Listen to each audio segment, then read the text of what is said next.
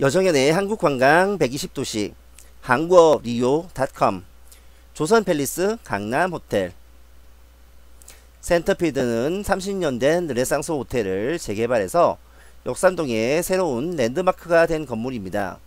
저는 역삼 초등학교를 졸업해서 특히 더 큰 관심을 가지게 되었는데요. 이 건물 24층부터 36층은 조선팰리스 강남호텔이 사용하고 있습니다. 르네상스 호텔은 2016년 VSL 코리아가 약 7천억 원에 매입했는데요. 이를 이지스 자산 운용이 땅값만 약 9천억 원을 주고 재매입했습니다. 이지스는 약 2조 원을 투자해 36층 규모로 재개발을 완료했습니다. 이 호텔의 추정 임대료는 대략 하루 3억 원에 달합니다. 그래서 1박에 40만원에서 60만원을 받아도 하루에 1억 원에서 2억 원은 적자가 날 수도 있습니다.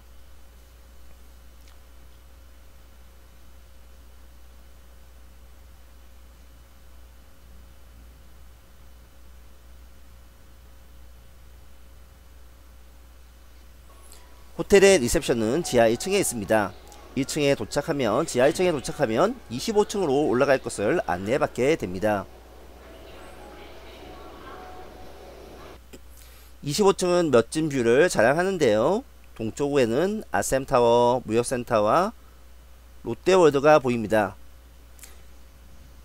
남쪽으로는 타워팰리스와 대모산, 청계산을 볼 수 있습니다.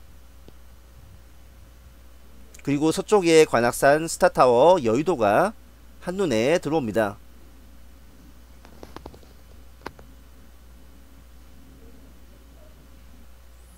북쪽에는 충영교회와 그리고 남산 도봉산이 보이고 응봉산을 지척에 두고 있습니다.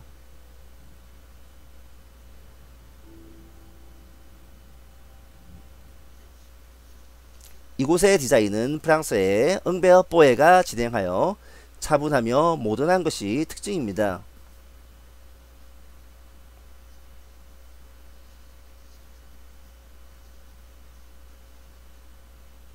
이곳에는 삼성전자의 최신 스마트 TV가 설치되어 있는데요. 넷플릭스와 유튜브 그리고 인터넷 콘텐츠를 리모컨으로 간단히 이용 가능합니다. 높은 등급의 객실에는 까나비가 제공되는데요. 와인은 보르고뇨 지방의 오뜨꼬뜨드본 제품이 공급되고 있습니다. 그리고 네스프레소와 라엔느의 커피포트가 배치되어 있습니다.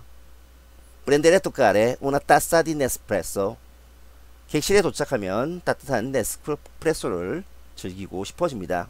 그리고 다양한 잔들은 독일 바이에른에서 생산된 소츠비슬 제품이었습니다. 그리고 호텔에는 애견 동반 객실도 준비되어 있습니다.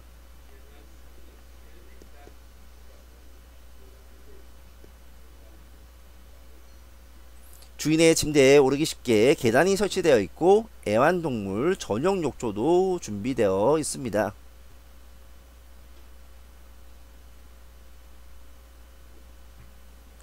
호텔의 지하 1층에는 메뉴당 8,000원부터 만원 정도의 저렴한 식사를 판매하는 식당이 많은 것도 특징이었습니다.